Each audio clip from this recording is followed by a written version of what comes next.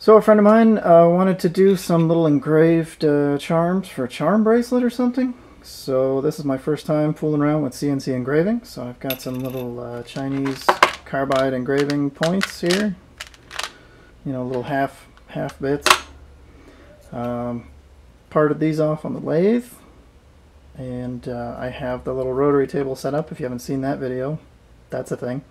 And I decided to use this to hold these because uh, they're circular and should work pretty well. Let's give it a try.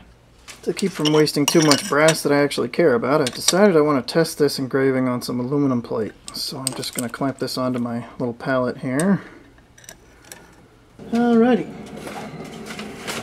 And I'm just going to use the paper slip method to bottom this cutter at zero. I'm going to call Z0 the top of the workpiece here, top of the material rather.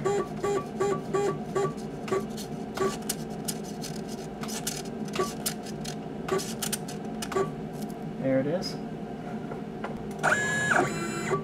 Spindle noise.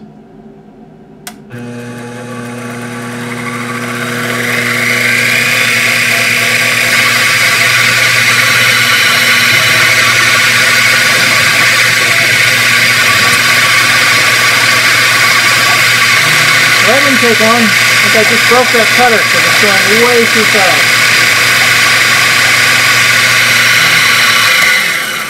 Yeah, oops. I just totally smashed that cutter. The feed rate was way too fast. Well, it doesn't feel smashed. Definitely wasn't cutting though. Maybe it... Well, it's carbide, so it probably just broke at the tip. Alright, we'll re... Re-zero the Z here. Yeah, broke something off.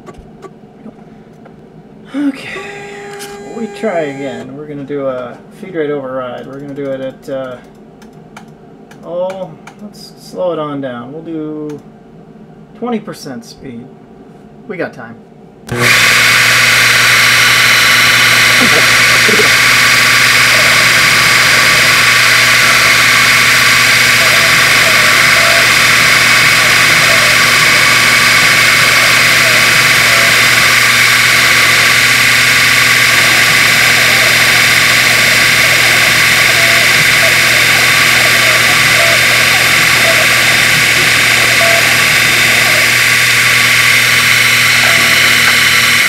Okay, well, all things considered, that is the thing I told it to make. Burred like crazy on the edges. Let's see what happens when we take a little sandpaper to that. I have some well-worn 400 grit. The piece we're cutting is going to be, uh, I gotta move that thing, I'm going to poke myself. The piece that we're going to be cutting is going to be shined uh, brass. So we won't be able to use, you know, heavy grit sandpaper on it without damaging other stuff. See how this 400 shines it up. Shining the aluminum around it nicely. It's probably, yeah, the paper's getting all cruggy, dulled from the aluminum. I think that's looking pretty darn good, actually, perfectly honest with you. This 400 grit paper makes this aluminum just beautiful.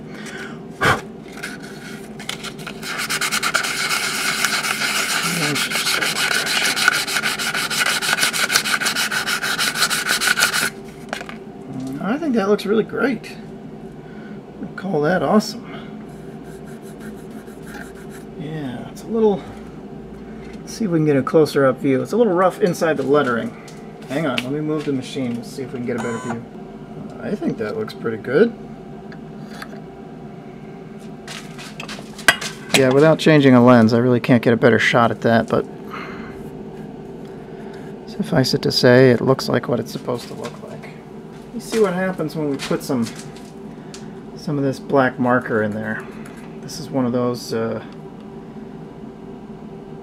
let's see, you know, one of those markers uh, branded Milwaukee, but it's just a, a Sharpie, basically. It's supposed to be resistant to oil.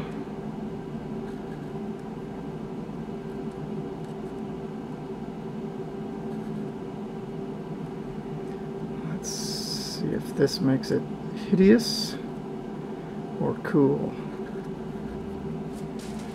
I don't know who HM is. I presume that stands for Her Majesty. I do believe this friend is making this for a lady friend of his. Alright. Now let's give it another top sand. Oh yeah, that looks really good. Yeah, that looks really cool. With a little bit of ink down in there, it looks great. Yeah, I like it. I'm sold. Let's do the real thing.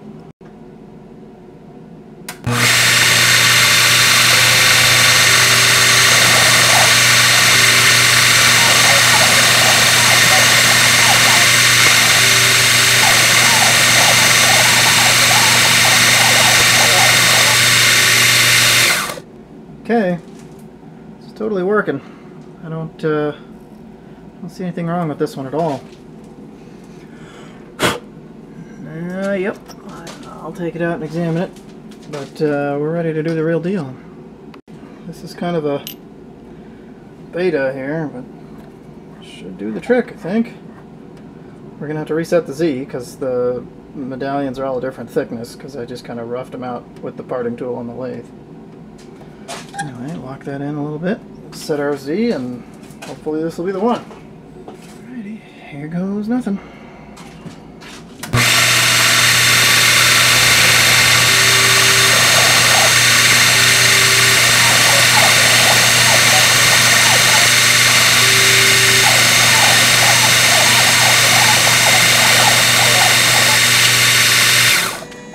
That's it.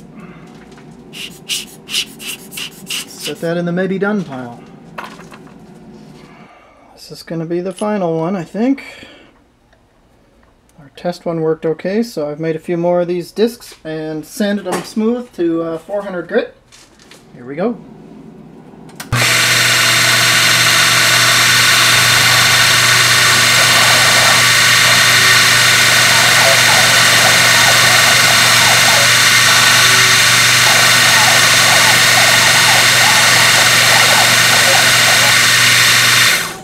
Okay.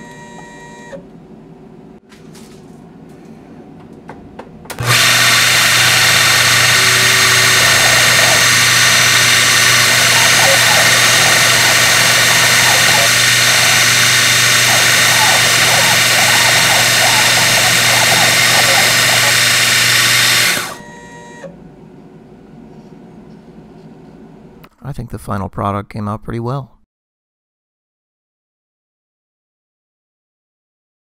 Starting with brass stock, we cut those down on the lathe, parted them off, sanded them, cleaned them up a little bit to 400 grit, and then engraved them.